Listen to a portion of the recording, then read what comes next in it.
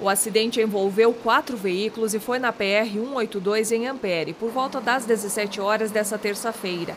A carreta estava carregada com suplemento para fabricação de ração e seguia sentido Ampere a Francisco Beltrão. Ao entrar na pista contrária, bateu contra um Fiat Argo. Em seguida, o automóvel se chocou contra um Ford K, que rodou na pista e atingiu uma Duster. Com o impacto, bateu no barranco.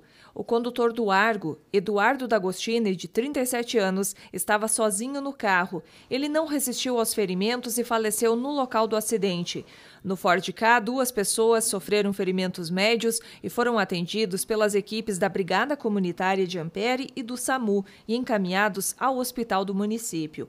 O condutor da Duster sofreu ferimentos leves, também foi encaminhado ao hospital de Ampere. O motorista da carreta não se feriu. Após o trabalho da criminalística, o corpo de Eduardo D'Agostini foi encaminhado ao IML de Francisco Beltrão. O trânsito ficou em meia pista.